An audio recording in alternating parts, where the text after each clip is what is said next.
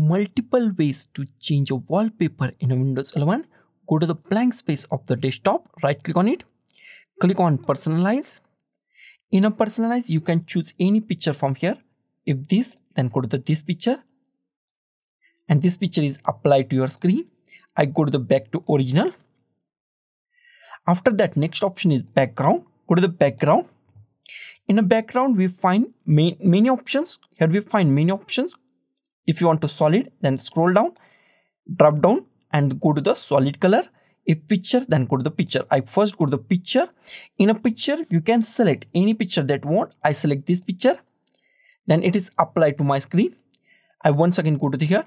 And if you want to your own picture as your wallpaper that is also possible. Go to browse my photo and select folder that has a, your picture and select any picture that want. I select this picture.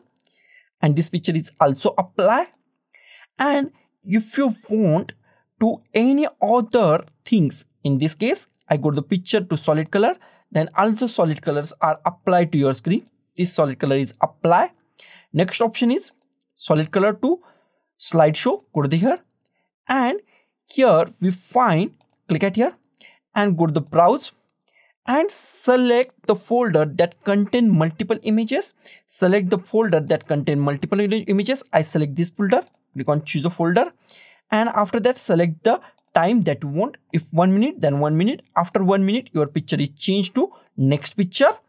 And next option is go to here and windows spotlight. Okay? Windows spotlight automatically get photos from the windows and it goes to your wallpaper. This is the our option. Another option. Another option is go to your folder or the images. Go to your images. In this case i go to the this image or this image and if you want to apply this image as your wallpaper that is very simple. Go to your image right click on the your image. After that here we find set as a desktop background. Click on that. And that image is applied to your windows 11 pc